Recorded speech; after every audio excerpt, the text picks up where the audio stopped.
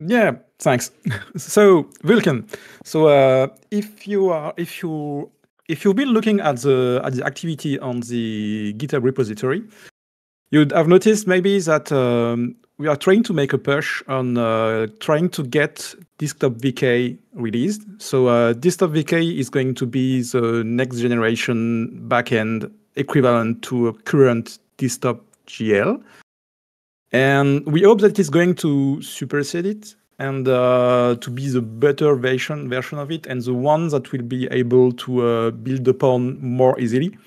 So uh, the most part of it has been made by Tom and uh, is also lately, uh, I mean, uh, pre- previously he refactored it to make it into a native backend. So it's kind of the test of the whole thing. So it's going to be the premiere of our new native backend and also a next generation uh, backend of all. So working on macOS, Linux, and Windows. And uh, currently, there is a few issues that are still blocking uh, its way for release, but we are getting very close. There is only two issues that are really quite hairy and requires some some knowledge, some very deep knowledge of Vulkan.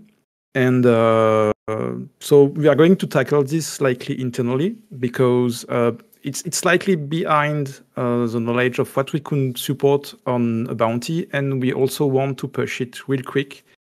Um, so maybe the bounty process is going to be a bit too slow in the process. So trying to get uh, Vulkan out soon. Uh, it's almost done.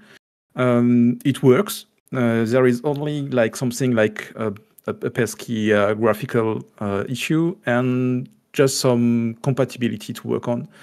But for the most part, it works. Uh, for the people who are brave enough, uh, they can already try to build it and use it. So it works. But we want to make sure that it's all good in all edges. And uh, so if you want to follow the progress, there is an issue on the repository that is called Road to Release Desktop VK. And you can follow uh, what's going on there. And uh, so you'll see that there are only a couple of issues. I've added some emojis of flames next to them, which are basically the hotspots.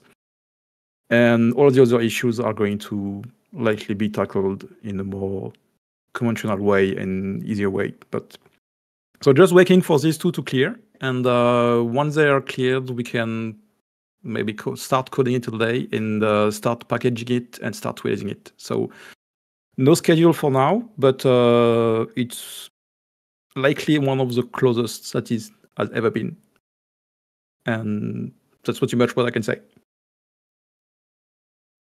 Cool. Yeah, Vulkan's exciting. That's something that we've been pushing for for a while you know, I'll disclose that that Vulkan code was originally written for Stadia back in the day when Stadia was a thing. Um, and uh, it was my first attempt at Vulkan, so there was definitely some bugs baked in there from that time. That project never finished, so it kind of was in the state that it was. And you know, it's it's in a lot better shape now, so we're getting very close to a point where it is shippable so that that'll be an important part for us moving forward. Um, and uh, now that Vulkan is getting close, we're going to, you know, I, I, think in the movement of some of the Vulkan stuff, Tomas, I think that we broke a couple things possibly in DX. So, uh, and I know that I've had some some feedback from people on the console side on some DX stuff on DX12 specifically.